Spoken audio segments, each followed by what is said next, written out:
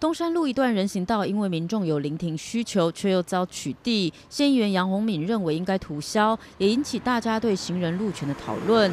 曾任东山乡长的县议员谢灿辉认为涂销是不当的做法，况且周遭也是校区，也必须维护通学与老幼行的安全。因为这个位啊有三间学校，啊，一间华都有，一间东山国中，一间东山国小，出入非常频繁啊。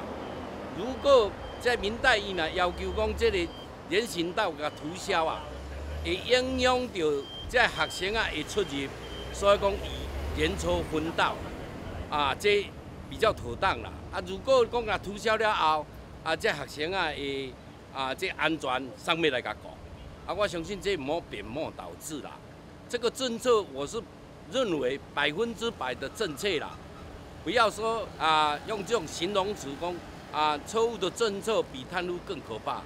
议员表示，其实道路上的人行道早就已经存在，过去是专行，只是因为亮点计划工程连带一起维护而改成标线型而已，并非新划设。至于对停车造成的不便，议员建议可以以增加停车场的方式来处理。啊，好不容易啊，第一百空七年提到亮点计划，阳公所嘛甲这里。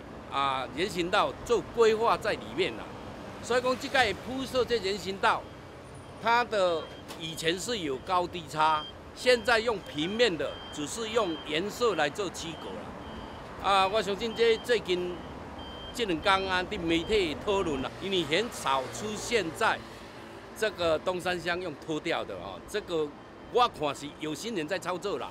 哦，我相信这吼唔通安尼做啦。这个第一停车场甲第二停车场，是唔是吼愿意让这些哦诶一挂车辆来咱这的人会当啊开放我入去底啊停车？宜兰新闻记者黄竹汉采访报道。